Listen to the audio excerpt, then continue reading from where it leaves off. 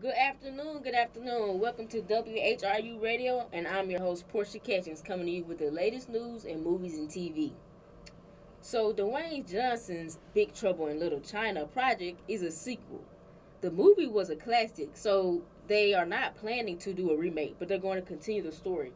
The original actor, John Jack Burton, excuse me, he was uh, the original guy to do the he was the original guy to do the play as the part. So they decided that they didn't want to do Dwayne Johnson. They was like, okay, we should just do a continue like do a continuation of the story, do a sequel because they felt like the movie was such a classic that they didn't want to do a remake of that.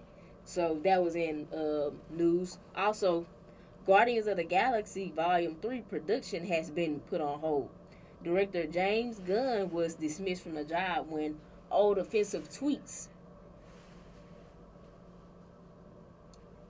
he was he was uh, he was took off the job when old offensive tweets surfaced.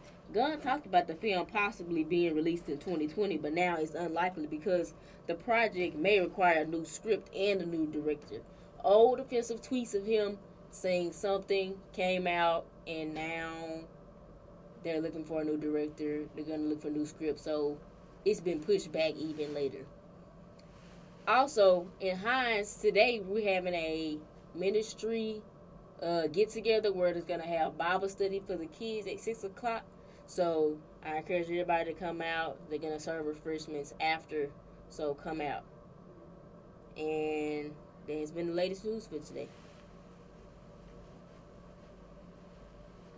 Thank you.